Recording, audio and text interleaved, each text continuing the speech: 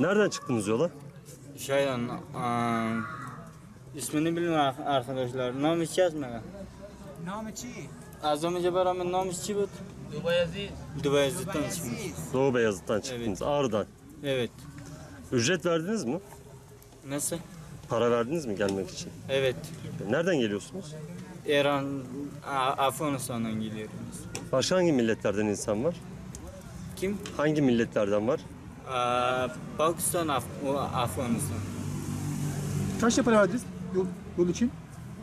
Ee, 700 lira, 800 lira. 700 lira? Evet.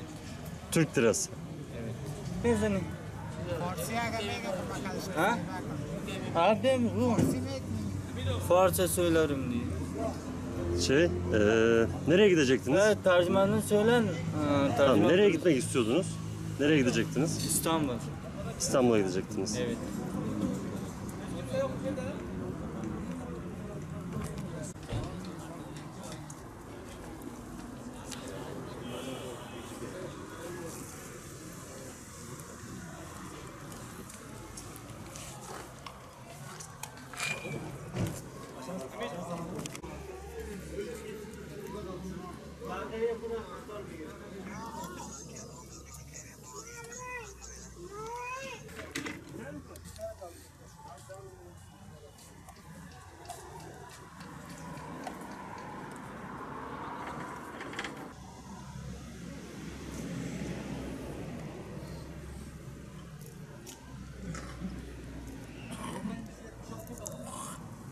Güzel tanesi.